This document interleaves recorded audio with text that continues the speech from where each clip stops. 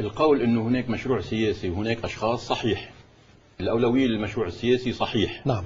هلأ بالمطحنه الانتخابيه والسياسيه في, ضحايا. إيه؟ في ضحايا. وفي ضحايا من الأسماء الكبيرة من الأسماء المهمة. من دون ما نسميهم يعني أكثر من أربع خمسة. المؤسف إنه ما كان لهم مطرح بهالمطحنة أو الانجريناج اللي بيسموه بالانتخابات اللي. هيدا من ضريبة العمل السياسي اللي هو عمل سياسي انتخابي بهدف الوصول إلى أكثرية ما أو إلى عدد معين من مقاعد مجلس النواب. هيدا آه، صارت هالهزة أو هالتجاذبات العميقة حدثت. نعم. هلأ نحن خرجنا منها صرنا على نهايتها صرنا على عملية اللي بيسموها الفينيساج بال- بال- باللوائح الانتخابية رشة من. من زحلة إلى كسروان إلى نعم. آه، طبعا الأشرفية وجبيل ما بقى في إلا هال- هالدوائر هلأ غيرنا يعني ال- الفريق الآخر بدل هالتجاذبات ما آه، تبين على السطح بشكل واضح عم تتعامل في الداخل يعني تتفاعل في الداخل وكأن أنا سميته مرة آه، فالق جزين يعني في في في عملية آه، ابتزاز أو هزة أرضية آه، عم تتفاعل ب- بجزين ببعبدة حتى بكسروان ولو كان إنه اليوم أعلن عن لائحة ثم آه، أرجئت إلى الغد شو رأيك بالكلام اللي. شو رأيك بالكلام اللي طلع بالديار بالصفحة الأولى من الديار في عددها البارح الذي يقول إنه في صفقات مالية كبيرة صارت بموضوع بكسروان في مرشحين دفعوا مال في مرشحين استبعدوا لأنه ما دفعوا مال. آه، في ناس أعطوا قطعة أرض مرشحين آه، الأسماء هل بتصدق. هيك- الأسماء واضحة وتناولت آه، فارس بويز نعم طلق بناصر جيلبرت ومدام بويز. آه، جيلبرت آه، نعم. آه، هيدا الكلام آه، طبعا برسم الصحيفي اللي قالت عندها معطيات. ورد آه، ما بي ما بيبرر يعني الرد أو التوضيح ما بي ما بيثبت العكس. على كل حال هيدي هالسيره سيرة المال السياسي منا جديدة. ح- عند العماد عون شخصيا. بال 2005 صارت نفس القصة على على رقعة أوسع بكسروان وبجبال وبالمتن وبزحلة وبالمناطق الأخرى. يعني دفع. يعني أنا بسمي إنه في نوعين من المال السياسي وجهين لعملة وحدة. يعني؟ ولكن في آه، وجه أخطر من وجه. هو الوجه اللي بيستعمله العماد عون هو التالي. المال السياسي التقليدي هو إنه بيجي الممول ال- المتمول السياسي بيدفع للناس الناس العيوزين الفقراء العيال المستورة وبيربح أصواتها. طبعا هيدا شراء ضمائر. ولكن بالمقابل بالقليل في منفعة آه، مادية معينة على فترة معينة. على على الفرد. أما الأخطر الوجه الآخر للمال السياسي وخطير جدا وما حدا منتبه له هو شراء ضمير النائب مش الناخب. هديك الحالة الأولى كيف يعني- كيف يعني؟ شراء ضمير يعني؟ يعني أنا الزعيم الفلاني أملك أصوات الناس الناس بتأيدني. بيجي بقول لفلاني أو لفلان بعملك نايب وبعطيك أصواتي لقاء مبلغ من المال. وين بيروح هالمبلغ من المال؟ بدل ما يروح للناس عم بيروح لجيبة الزعيم. أو مصاريف ليستا لا لا شو مصاريف ليستا. تصير، هي كانت طيب. ما تحت شعار مصاريف ليستا عم يصير في ملايين كان دائما رؤساء كانوا الأقطاب أنت بتعرف بتاريخ لبنان كانوا الأقطاب دائما ياخذوا معهم بال- بالبوسطة ياخذوا نعم. معهم متمول يدفعوا مصاريف الليستا يعني عم نحكي من 50 60 سنة طيب طول عمرها. بال هذه 2009 يعني- فإذا. في فريق بيدعي إنه ضد الفساد ضد المال بس السياسي مش عم غريبة على على مش غريبة على على بس نحن تغيير من الحياة هيك البرلمانية بس نحن أصلاح. وتغيير بشو عم نصلح ونغير طبعا هيدي طيب. إذا صحت هذه طيب إذا هذه الافتراضات. أنا أنا عم بقول إنه في معطيات عند أصحابها ربما بيقدموا فيها إثباتات أو ما بيقدموا فيها إثباتات. خلينا نقول في شبهات. نعم. هالشبهات عم بتبين عمليا من آه، ناحية المصروف. في في صرف مالي هائل على الإعلانات مثلا.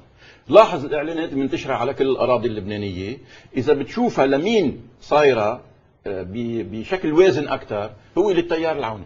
يعني آه، في آه، حالات آه، إعلانية خطيرة جدا يعني مدفوع عليها ملايين دولارات مش مئات ألوف الدولارات نعم يعني هيدي. منين جاي؟ مال نظيف هذا مال طاهر مال نظيف مال من المعترين من الناس أنا ما بعرف بيفتحوا باب التبرعات؟ للناس منين هن جاي؟ بحاجة منين جاي؟ يعني في عدة مصادر أصلا.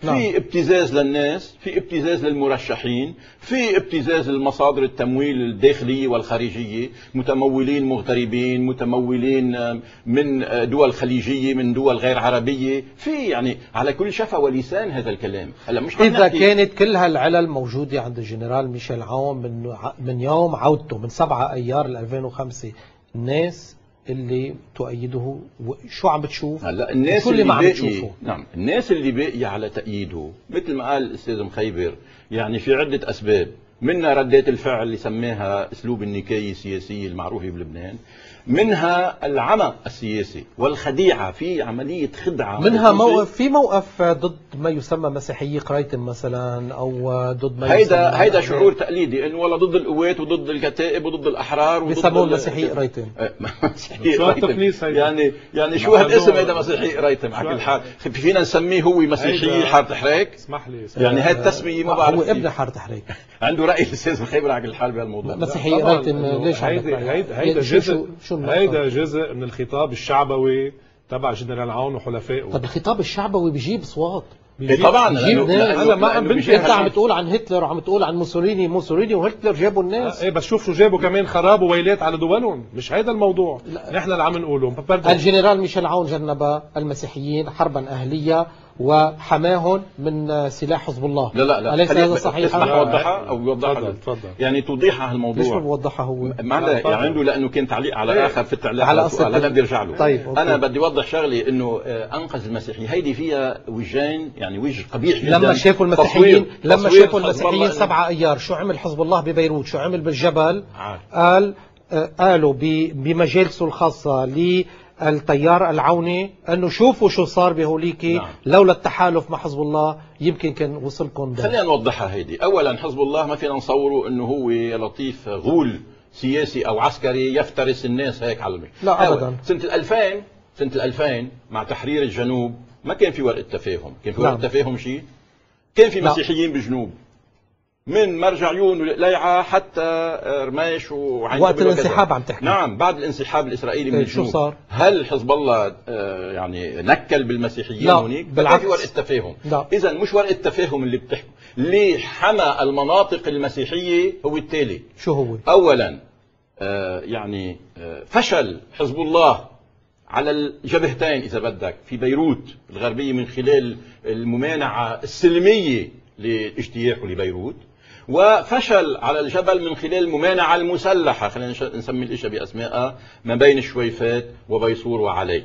اذا وحتى يعني آه، نيحة شوف وباتجاه البقاع. نعم. اذا هيدا هي سبب. السبب الثاني إنه المناطق المسيحية منا لقمه سائغه يمكن هيك اجتياحها ببساطة. مرة الدكتور جعجع بأول اجتماع بسبعة أيار يعني يوم الاجتياح 8 أيار كان في اجتماع بمعراب ل 14 اذار بيقول كلمة معبرة.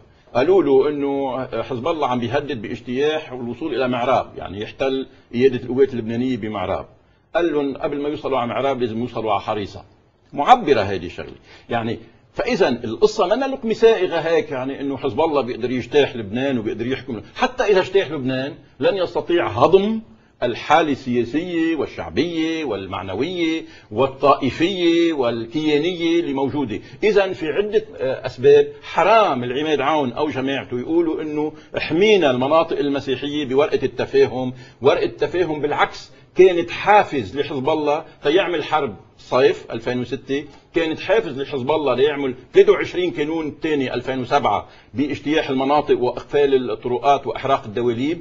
كانت حافز للاعتصام الدهري آه، سنة ونص. بقلب بيروت كانت حافز لسبعة أيار. وقت تفاهم ارتكبت من المعصيات ومن الأخطاء الخطيرة على لبنان كله وعلى المسيحيين ما لا يحصى. حرام نقول أنه ورقة تفاهم بين فريقين من طائفتين لا حزب الله بيمثل كل الشيعة ولا العماد عون بيمثل كل المسيحيين موجهة أولا ضد الشيعة الآخرين وضد المسيحيين الآخرين ثم موجهة ضد الطائفتين موجهة ضد الطائفتين الآخرين اللي هي السنة والدروز هذه ورقة تفاهم بعمقها خلقت انشقاقات وانهدامات داخل النسيج اللبناني ال- ال- العام وخصوصا بين المسيحيين وبين الشيعة وخصوصا آه، اتجاه السنة واتجاه الدروز